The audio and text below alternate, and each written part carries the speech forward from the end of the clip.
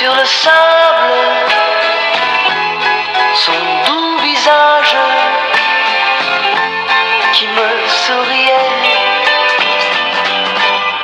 Puis il a plu